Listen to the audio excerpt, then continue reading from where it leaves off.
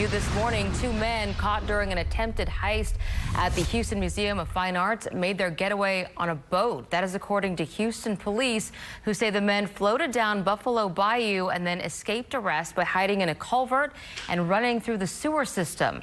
That particular system runs underneath homes in the River Oaks area. At this point, it's not clear if the men actually stole anything from the museum. The